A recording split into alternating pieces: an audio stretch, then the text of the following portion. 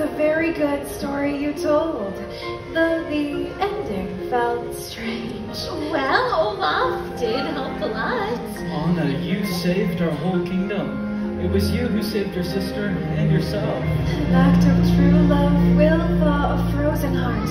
My sister, Elsa, I love you. Oh, excuse me, Queen Elsa.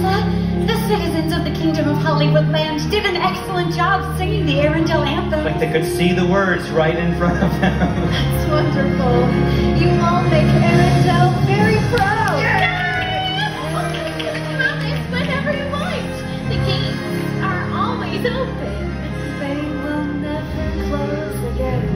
again. We're done, right? You want to go to Epcot? Si, senor. Adios, amigos. Wait, thank you, Eric, and you, Aria, the royal historians of Arendelle.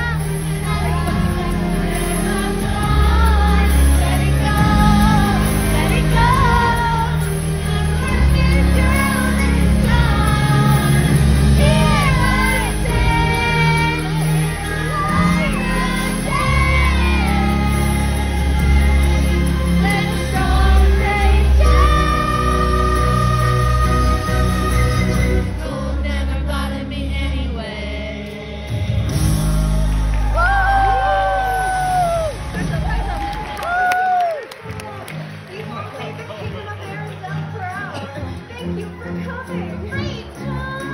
Anna, come on. Let's go find Sven. Thank you all for coming and singing along with us today. Uh, wait, Queen Elsa, um, do you think you could make it snow for us all one more time?